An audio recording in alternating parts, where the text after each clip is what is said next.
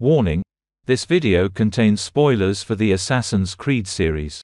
Continue at your own discretion. I love Ket. What did Kassandra do for 2,400 years? Did she continue to scissor herself across the world? Did she stalk all of her descendants? Or did she sit in her cave for a few millennia and kept the same hairstyle? In this video, you'll find out. As seen in Valhalla, she did travel to other countries and learn other languages. So she did not sit in a cave the whole time. Jeez, that must have been a hell of a lot of language to learn in uh, 2,400 years. So Kassandra did go out every now and then, and did more than buy a suit.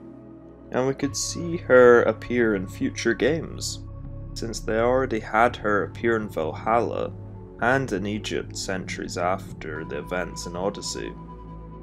Kassandra spent most of her time tracking down pieces of Eden. Over the years, Kassandra devoted herself tracking down Isu artifacts throughout the world, similar to the ones she found in Greece. In each area she visited, she would not remain for long in order to prevent herself from attracting attention or making bonds.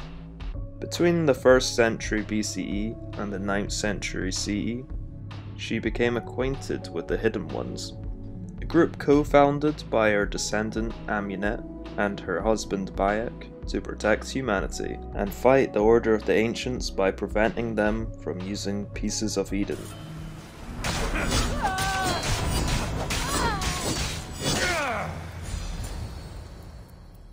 Sharing their goals, Kassandra was even given their signature weapon, a hidden blade, for a relation with the Hidden Ones.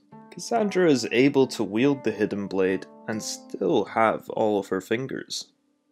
As we know from AC1, and even with Basim and Valhalla, the assassins had to cut off their ring finger to wield a hidden blade. So how could Kassandra wield a hidden blade without cutting off her finger? Yeah, interesting. You knowing she has the hidden blade three centuries or more before Altair created the hidden blade that did not require the finger sacrifice. Who did Kassandra meet along the way? She could have met Altair, since there are big gaps in Altair's history us the players didn't get to see, and also because Altair had an apple for most of his life. Since she was tracking down Isu artifacts, she may have gone to Masyaf to see if the rumors were true that there was a man that possessed an Isu artifact. If the rumors were true, and if she needed to intervene, Kassandra could have been alright with Altair keeping the apple, as he was doing good with it. Advancing the assassin's technology and not using it to control people. Will she end up meeting Basim in AC Mirage? Most likely, Basim will come into contact with an Isu artifact that will give Loki a grip over him. Will Kassandra meet Basim? I think not. I feel they're trying to wrap up and connect the last three games together and move on. With Kassandra having DLC missions in Valhalla and also the one in Egypt. If Kassandra meets Basim, it'll just end up being strange if she never met all the other Assassin's Creed protagonists. Now, did she end up meeting all the prototype assassins? I feel the potential is higher as she's already met Darius, and she comes into contact with hidden ones at some point, since she gets given a hidden blade.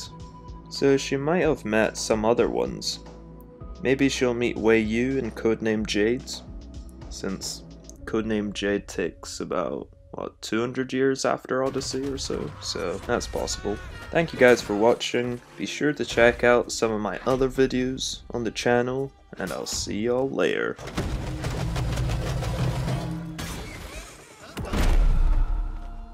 The new mobile app, Kassandra Scissor Spree is available now on all smartphone devices.